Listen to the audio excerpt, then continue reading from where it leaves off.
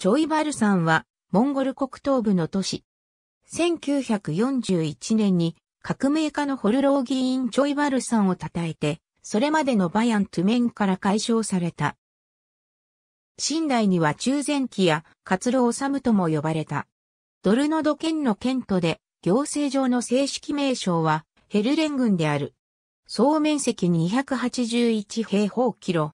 ヘルレン川下藩の標高747メートル地点に位置する。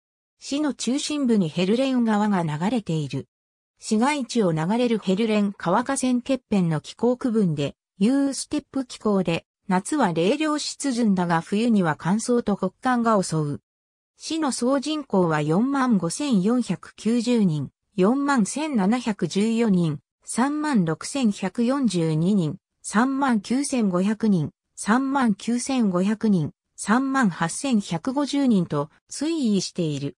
都市としては国内第4位の人口規模を誇る。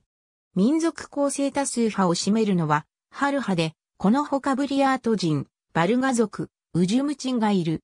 中国の内モンゴル自治区からの移民も含まれる。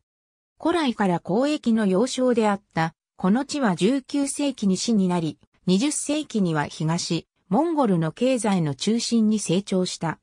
しかし1992年の民主化で、ロシア人労働者が流出すると経済は大きく衰退、今でも国内最悪水準の失業率にあえいでいる。